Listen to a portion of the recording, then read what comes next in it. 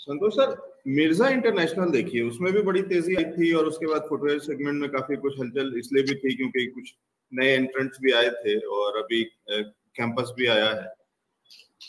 कैसा दिखता है सर? क्योंकि, और कुछ एफ़ की भी शायद खबरें हैं। एफ़ ने स्ट्रेक बढ़ाया है या कुछ इस तरीके की चीज़ें, उसका इफ़ेक्ट प्राइस पे कहीं दिख रहा है?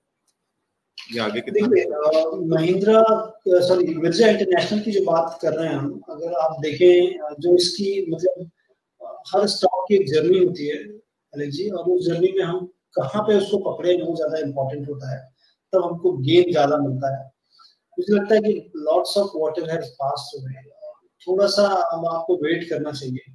और काफ़ी अच्छे नतीजे कंपनी के उत्साहवर्धक रहे हैं। अगर आप दिसंबर के नतीजे देखें, या फिर सितंबर क्वार्टर के नतीजे देखें, और इनके जो ब्रांड हैं, अगर आप देखेंगे, काफ़ी वेल नोन ब्रांड है रेड टेक बोल के ब्रांड है इनका। जो कि काफ़ी अच्छा पिकअप किया है इन दिनों।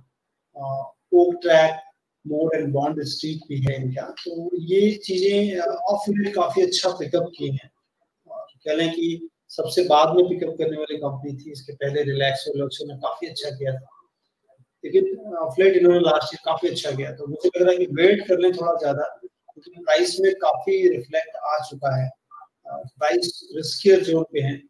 अगर करेक्ट होकर आपको मिलता है 180 के आसपास तो वो ज़्यादा इम्पोर्टेंट लेवल में भी वहाँ पे आप करो। या दूसरी चीज़ की इस क्वार्टर के नतीजे को देखो और नतीजे अगर मोमेंटम में और ज़्यादा है, यहाँ से हेंसफोर्ड भी हैं, तब तो आपको लेना ही पड़ेगा अदर वे तो नतीजों तक इंतज़ार कर लें, या फिर वेट कर लें कि एक सब्सटेंशियल करेक्शन सेटल हो। ये राय है मिर्ज़ा इंटरनेशनल पे।